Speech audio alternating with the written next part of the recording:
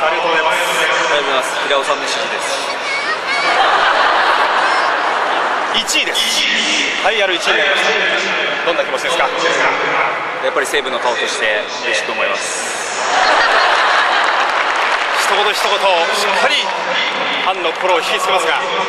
サヨナラタイムリーという経験は僕から？ことですがサヨナラホームラン。この味はいかがだったですかえー、自分でもこれやったつらいしましたまあ、今、ホームで再現しましたけども、あのホームインした瞬間、まあ、水はかけられれば、上から乗っかられれば大変だと思うんですけども、その時ってどういう気分になるんでしょう？でんぐり返し1回で疲れてたんですけどちょっとつかなかった。ので2回目は2回目しちゃいましたそこはちょっと僕足謝りましたね。そうですね、まあ、僕らしいですねじゃあ来年以降もまた感動的な場面を作ってください。はい頑張ります。ありがとうございました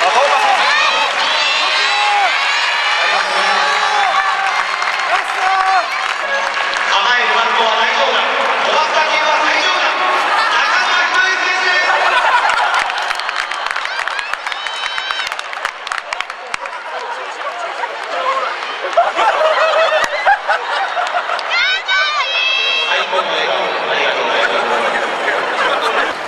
フ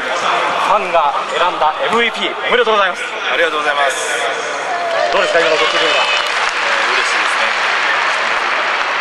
中島選手が特にそのファンの声援が多く飛ぶんですけれども、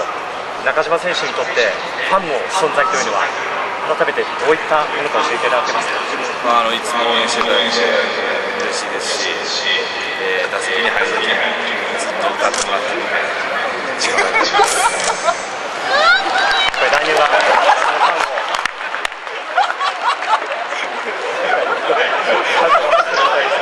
をぜひそのファンをね来年は喜ばせたいですよね。はい、あの、みんなで喜んでるように。